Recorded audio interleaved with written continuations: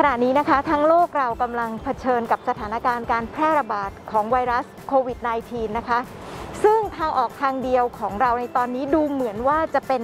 วัคซีนนะคะ ที่จะเป็นความหวังในการรักษาหรือป้องกันหรือหยุดยั้งภาวะการแพร่ระบาดอันนี้ได้นะคะ แต่ยังไงก็ตามนะคะที่มาพร้อมๆ กับการฉีดวัคซีนก็คือว่า ในการฉีดวัคซีนนั้นอาจจะมีผลข้างเคียงหลายอย่าง และผลข้างเคียงอันหนึ่งที่เป็นที่น่าสนใจในวงการของผู้ที่อยู่ในแวดวงของความงามนะคะ ก็คือผลกระทบของการฉีดวัคซีน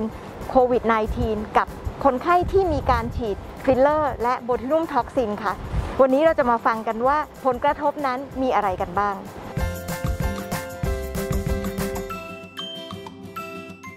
ฟิลเลอร์ก็คือสารเติมเต็มนะคะ เราใช้สารเหล่านี้เนี่ยเพื่อเติมเต็มริ้วรอยร่องลึก หรือแม้แต่ปรับโครงสร้างของรูปหน้านะคะ โดยสารที่ใช้ส่วนใหญ่จะเป็น hyaluronic acid ซึ่งในความเป็นจริงแล้วเป็นสารตัวเดียวที่ผ่านการรับรองขององค์การอาหารและยาในประเทศไทยค่ะ ส่วน botulinum toxin นะคะก็คือเออยาฉีดชนิดหนึ่งนะคะ ซึ่งมีสารในการยับยั้งการทำงานของกล้ามเนื้อ ซึ่งเราใช้หลักๆนะคะ เพื่อลบริ้วรอยบนใบหน้าค่ะ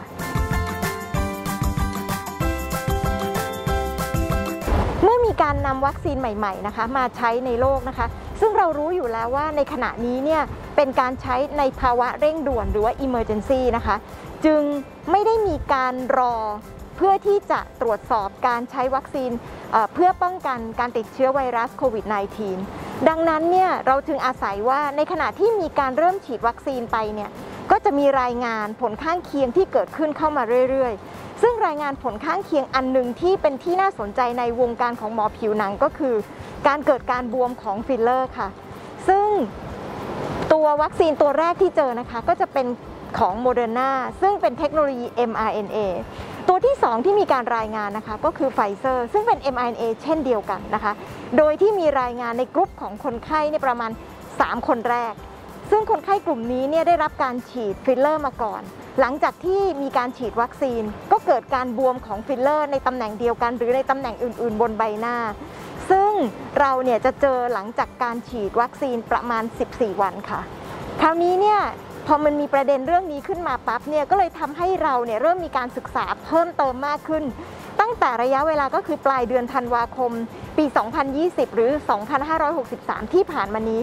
หลังจากนั้นมีรายงานอีกมากมายเป็นประมาณสัก 40-50 รายแล้วในปัจจุบัน ซึ่งเราพบว่าสามารถเกิดกับวัคซีนหลายรูปแบบได้นะคะ รวมถึงวัคซีนที่กำลังเข้าเมืองไทยตัวใหม่ก็คือซีโนฟาร์มแต่ยังไงก็ตามนะคะ ในปัจจุบันยังไม่มีรายงานการบวมของฟิลเลอร์ จากวัคซีนซีโนแวคกับแอสตราเซเนกาเลยค่ะ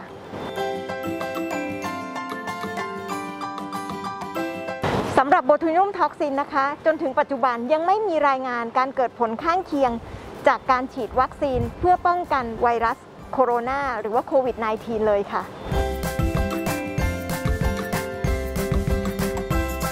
ผลข้างเคียงในเรื่องเกี่ยวกับการบวมที่เกิดจากการฉีดฟิลเลอร์นั้นนะคะ เราพบว่า ผลข้างเคียงนั้นเนี่ยจะสามารถหายไปได้เอง หรือสามารถได้รับยาบางตัวที่มีการต้านการบวม คนไข้ก็จะหายบวมได้